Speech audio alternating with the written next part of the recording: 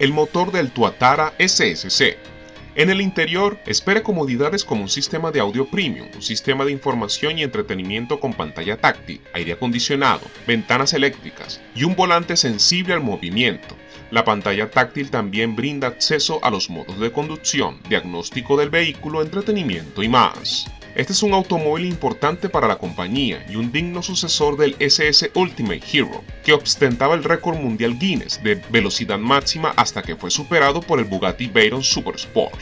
SSC afirma que el Tuatara puede alcanzar velocidades de 300 millas por hora, unos 483 kilómetros por hora.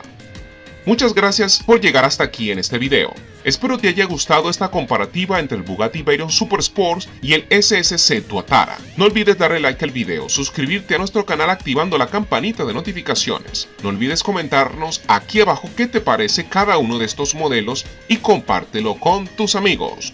Nos vemos en una próxima oportunidad en 0 kilómetros.